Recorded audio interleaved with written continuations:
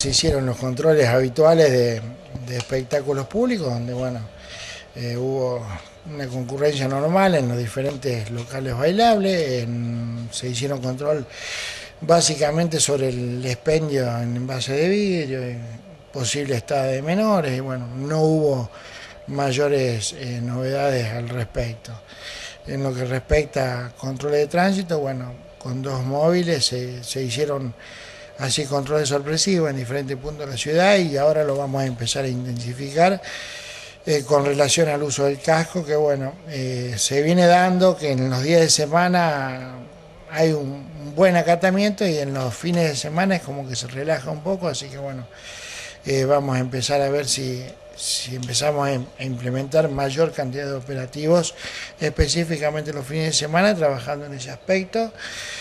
Y bueno, eh, yo estoy entrando de vacaciones, pero bueno, ya tengo una reunión con el nuevo jefe de la unidad regional, el cual, bueno, me comentaba Horacio que tiene toda la predisposición de, trabajar en conjunto, decir que, bueno, eh, voy a tratar de conocerla esta, este mayor y empezar a coordinar eh, futuras acciones. Después, en lo que respecta al control del colemia, bueno, el sábado a la noche se efectuó en la ruta 9, a la altura de calle Moneto, se controlaron 209 vehículos y se detectaron tres personas alcoholizadas, uno de la localidad de Armstrong con 0,9 y dos de Nuetinger, uno con 0,8 y el otro con 1,4. Eh, como padre voluntario estuvieron Alan López, Javier Gutiérrez y Luis Moyano. Y bueno, lo que te decía antes es de eh, hay que destacar, estuvo en, persona el jefe de la unidad regional con un móvil eh, de la policía apostado durante todo el control ahí, eh, con los sargentos Maximiliano Morano y el agente Lucero.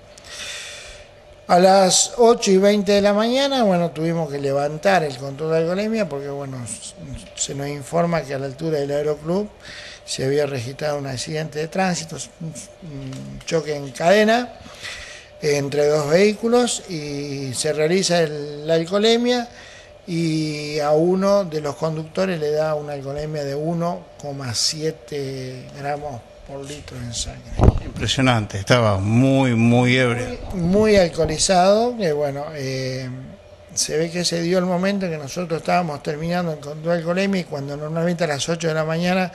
se termina el control de alcoholemia, que se llevan los padres a desayunar y todo, en ese momento este muchacho pasa por el control, por eso no pudo ser eh, controlado anteriormente y bueno, después se produce ese accidente y bueno, se, se dan las situaciones que, que te estoy relatando.